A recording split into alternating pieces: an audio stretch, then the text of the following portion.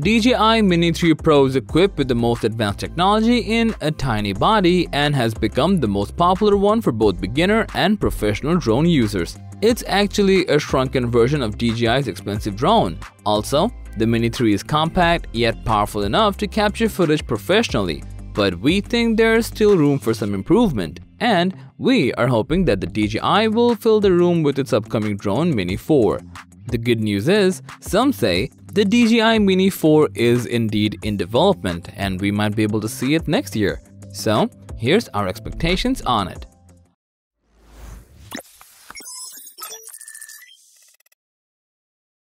DJI crafted the Mini 3 Pro pretty carefully, and there's no doubt about it. It even comes with a completely new design compared to its predecessors. So, we don't expect any design changes from the upcoming Mini drone.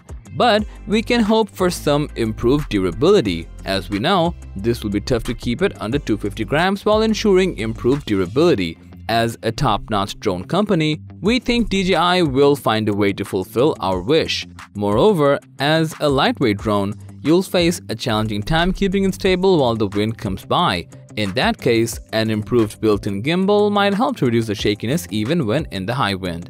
Another exciting thing we got from the Mini 2 Pro is a 1-1.3 inch CMOS sensor with 48 megapixels image capturing capability.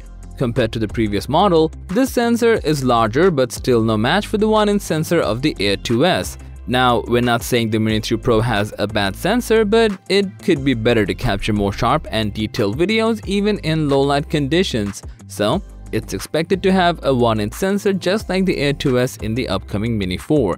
There's even more. So as you might know, the Mini 3 Pro can record 4K videos at 60 FPS which is actually pretty common for all current high-end drones. Again, if you look at the Air 2S, you'll see it can capture footage with 5.4K resolution at 30 FPS. So, if DJI adds this feature in the upcoming Mini 4, that would be pretty amazing. Regarding the vertical mode, DJI Mini 3 Pro has a small issue, which is that all of the intelligent flight modes go to offline mode, including active track, point of interest, and master shots.